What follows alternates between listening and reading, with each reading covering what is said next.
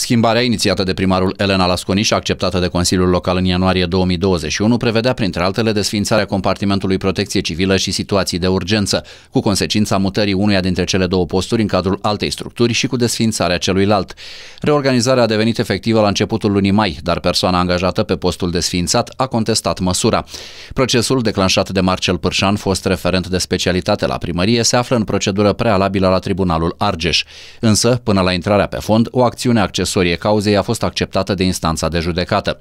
Tribunalul a decis suspendarea efectelor hotărârii de reorganizare a primăriei în ceea ce privește compartimentul de protecție civilă, dar și suspendarea deciziei primarului Câmpul Lungului de desfacere a contractului de muncă al referentului Marcel Pârșan. Este o reușită doar în prima fază, pentru că procesul are două capete, două, cerere, două cereri.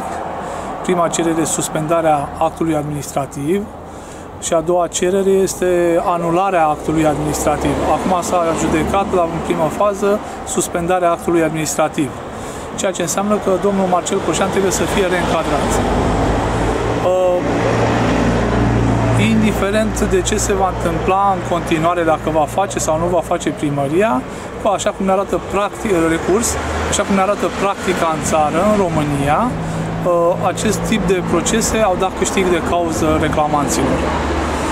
Uh, să mai impune, uh, trebuie să mai avem în vedere și cine va plăti, că vor veni niște cheltuieli pe care primăria va trebui să le plătească pentru această aventură, să zic eu, nefericită. Cineva trebuie să plătească și eu consider că nu e corect ca municipiul Câmpul Lung să plătească greșelile făcute de conducerea primăriei împreună cu consilieri de, din șapte zări care au venit aici să ne învețe cum să pierdem de fapt procesele pe bani foarte mulți luați tot de la primărie. În acțiunea pe fond, Pârșan solicită atât reîncadrarea pe post, cât și plata salariilor cuvenite de la momentul încetării raporturilor de muncă până la eventuala reangajare.